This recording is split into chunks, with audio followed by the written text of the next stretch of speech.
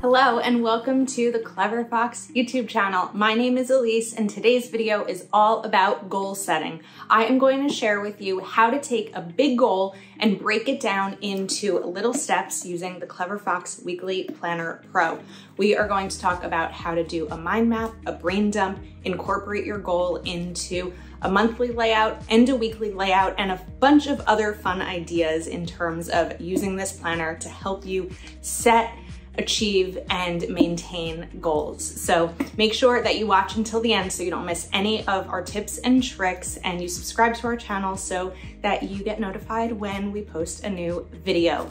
Let's get started.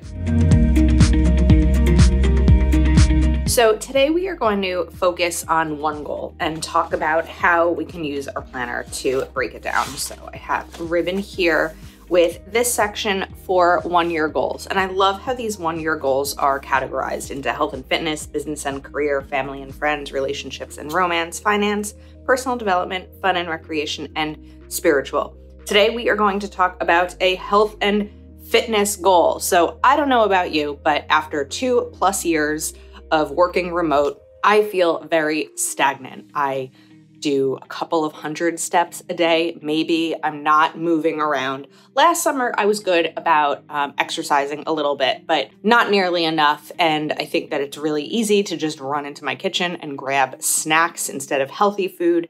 And I notice that when there's a day that I do need to be more active, I tire out easily. And I'm 35. I shouldn't tire out as easily as I am, I feel like, when uh, my nephew wants to run around the yard with me. I don't have as much energy to. Even after a long day of shopping with my mom, the next day my feet hurt. Part of that might be not wearing the right shoes. Can't wear flip flops for a day at the mall. I want to focus on my health and become more fit and also eat healthier. Why I want it so I can live a long, healthy life. I don't want to be in my 60s with health problems that I could have resolved in my 30s and just so that I have more energy in general. I think that having being sluggish throughout the day, a lot of this can be handled with diet and exercise. It's a great idea to focus on my health, eat healthier, exercise more, but how do I incorporate it into my planner? So let's shift over to the mind map. This mind map page is really great for looking at your three month goals and breaking them down but one of the great things about this planner, of course, is the back has so many of these dot grid pages. So you could do a mind map for each of your goals if you wanted to. But we're just gonna start and kind of the mind map is going to sort of be more of a brain dump of ideas on things that we can do. So let's just put a nice, fun, big circle in there.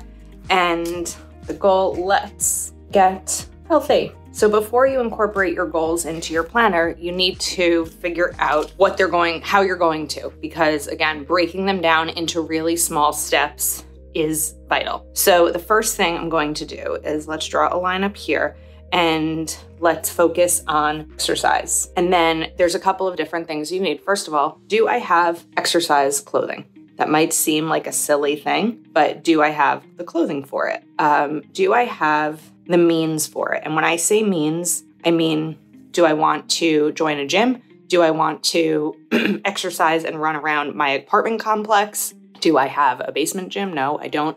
Maybe you do. Maybe you have exercise equipment already. And so that means part is taken care of, but just deciding on the method. And then um, let's put in here entertainment. The reason I rate that is last summer when I decided that I didn't finish this goal. So we're, we're going to focus on it again this summer. But I decided that I was going to run a 5K. I've never been a good runner and I decided I wanted to become one. One of the things I learned really quickly was that I can run much e more easily or I enjoy it more when I have music to listen to, or maybe you want to walk and listen to an audiobook or a podcast or just something to keep you company so you're not just in your head and there's something really good and motivating. So it might be making sure you have headphones or downloading a Spotify app or something like that. Um, then let's look at diet. So diet is going to be uh, water. I should have left space to write water intake, but we're just gonna stick with water. Recipes, if I want to be cooking, part of that means learning healthy recipes and understanding what healthy means for my body because we all have different ones and some of us need more protein and things like that. Um, water recipes, habits. I want to bring habits into here as well. Let's put it over here. Oops. Okay, so those will be the three things when it comes to focusing on those. Then, then I'm going to make a list down here or two lists of the things that need to get done. So let's do a little line here and a little line here. And we are going to write exercise and diet. So exercise, when I look over here, so we're gonna make some bullets. And the benefit of this is that once it comes down to bringing these into your planner, you'll know exactly the steps you need to take rather than looking at just the goal of get fit and figure out how to put how to put that into plans. So, first of all, habits. Um, let's write, use a different pen. Let's write at least three times per week, which amounts to every day. And I think it's good. Clothing. Try on sneakers, go through closet. So you want to make sure that you have the right gear. Not saying spend a ton of money on it, but making sure that uh, for me, I would need it's summer, so I would need a tank top, I would need a good sports bra, need sneakers, comfortable socks, and that's probably enough for me. The means is going to be, um, for me, it's going to be walk, run,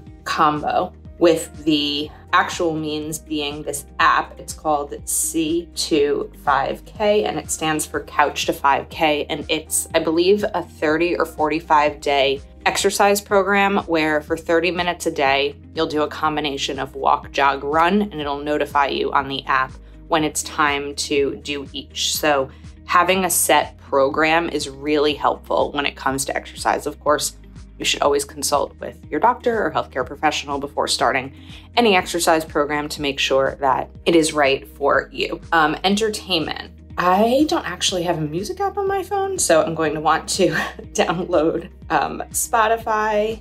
And then another thing is I'm going to write exercise basket. When there's a goal of things or when you have a goal of something that you want to do, having everything in one space is really helpful. So if by my door or in my bedroom, I put a basket of my exercise clothing, uh, my headphones, well, I'm not going to put my phone in there, but everything that I need so that when I am waking up early in the morning to complete this habit or something, I will know that everything is right there and I'm not running around my apartment looking for it. I also have um, what is it called? Find arm case. I purchased last year a thing that goes on your arm to hold your phone so that my phone's not in my pocket, like bouncing around as I'm moving. So, find arm case. And final step would be sign up for a 5K. And the fall would be a great time to do it and actually signing up for one and knowing that it has to be completed because I'm going to actually be doing it is a really great way to push me to get through all of these goals. Now let's talk about diet. So we'll bring some bullets down here. Okay, foods to avoid. So a list of foods to avoid. Part of when I said like going into the kitchen and grabbing a snack midday, well, if I don't have those, you know, Doritos and Cheetos and cookies and all of those, I'm not going to want to buy. I mean, I'm not going to want to eat them if they're not in my kitchen.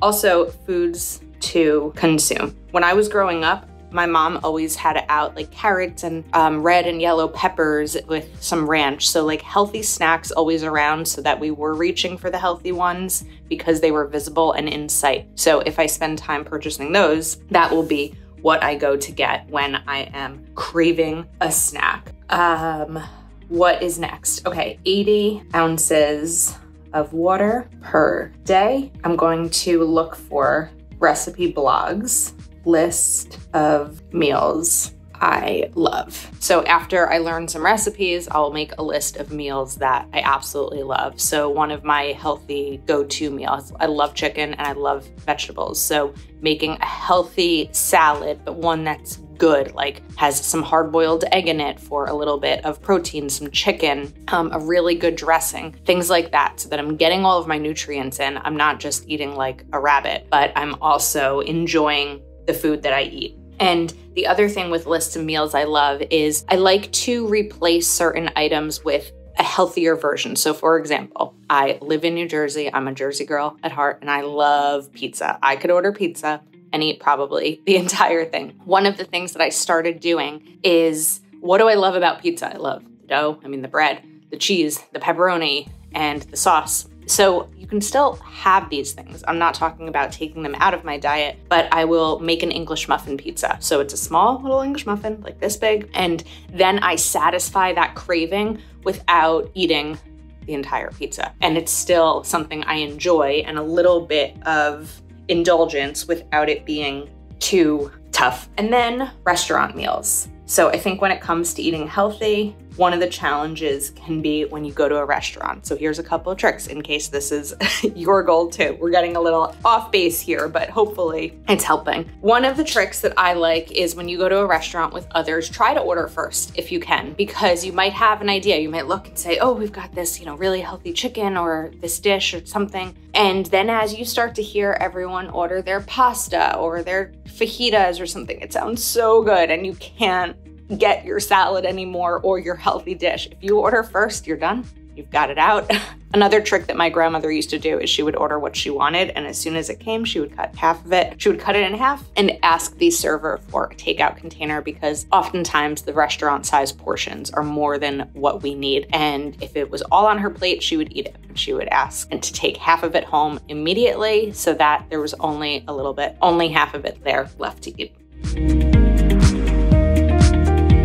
So now we have a very long set of a mind map. Let's talk about a monthly calendar. So I just dated this for August for this example. So this month's goal, we are going to get started. And this month's goals, what's great is that there are two sets here. So you could do a set of personal goals, you could do a set of health related ones. Also, when it comes down to breaking down a goal, your entire life is not going to be this goal, right? You still have to work and maybe take care of kids and socialize and rest and enjoy your life. So if I were to take everything from this mind map and put it right in here, it would be too much. So we are going to start out small. For the month of August, my goals are going to be, let's put them over here, exercise basket and aim for three days per week. Find playlist I love. Now, the other option or something else to consider is when you're looking at your monthly calendar and it is all planned out. It's not just dates and you know what things look like. You can use a marker or stickers just to color code and actually make the plan. So just like you would make a plan for a doctor's appointment or you know when a kid might have a party or a play date, something like that, making a plan to incorporate a goal is really good. So I love the idea of starting out on a Monday exercising. So I'm going to put this here on Mondays so that when I'm looking at my planner for the month, to set it up for the week. I know, okay, Monday morning, I'm going to wake up early.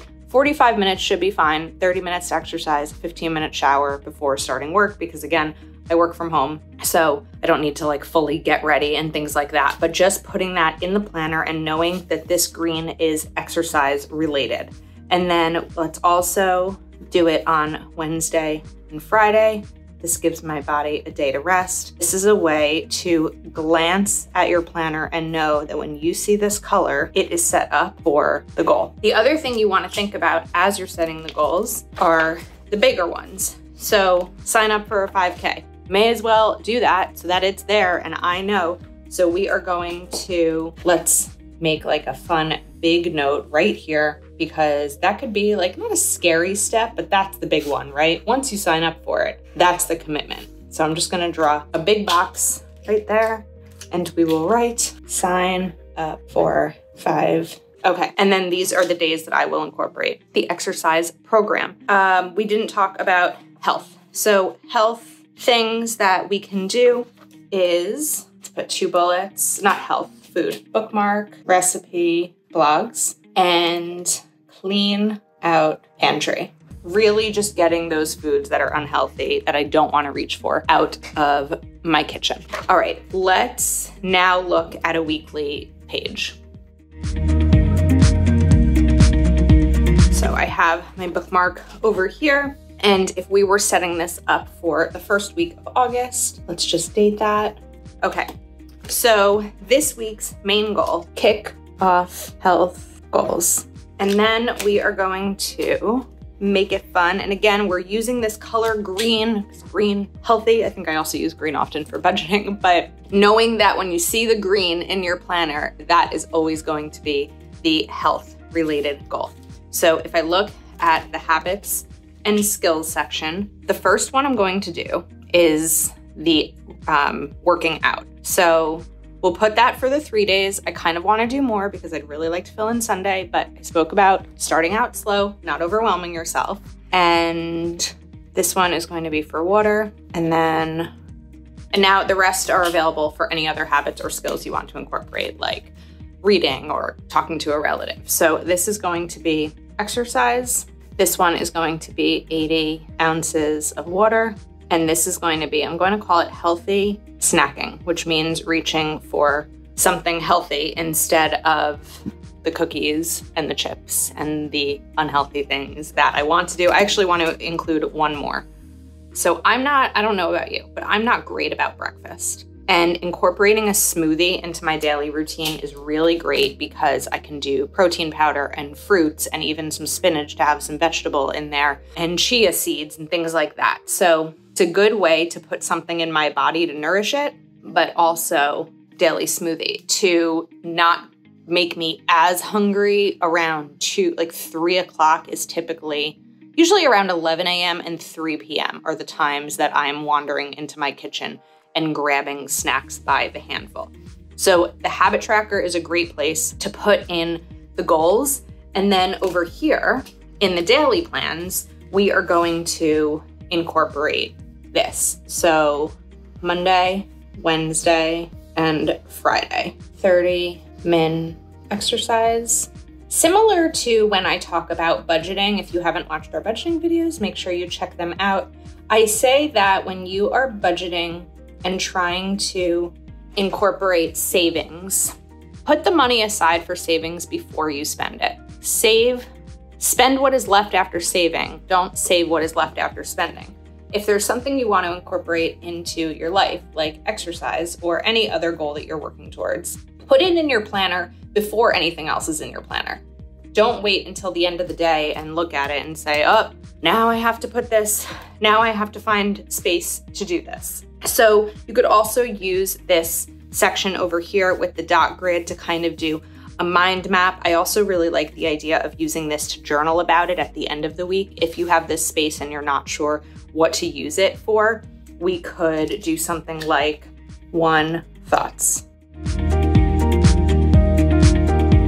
Another thing that I love to be able to do is let's pull out this page in the back because again, there are so many pages and we can make this a little bit of a focus section. So my journey to be healthier, not a period. We're gonna do an exclamation point. And you can break this down by journaling. You could also use this as a way to plan out or list things. So um, again, you could journal or we could do like food, blogs, I love, and then just leave this as open space to put them in so you always have those to reference. Another idea could be replacement meals. So, like I said, pizza can be replaced with English muffin pizza. I love Chinese food, and even though it's not always a direct replacement, sometimes the flavor can be. So let's write Chinese takeout. That's what I'm looking to replace. Can be replaced by homemade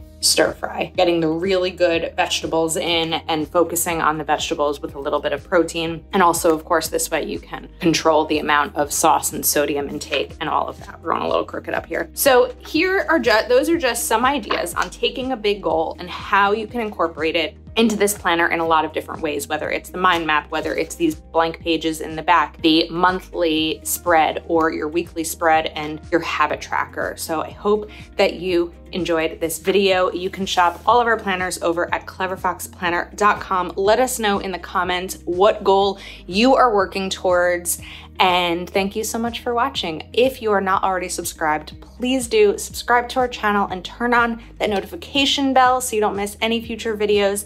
And then go ahead and take a moment to like this video. Thank you again for being here and we will see you soon.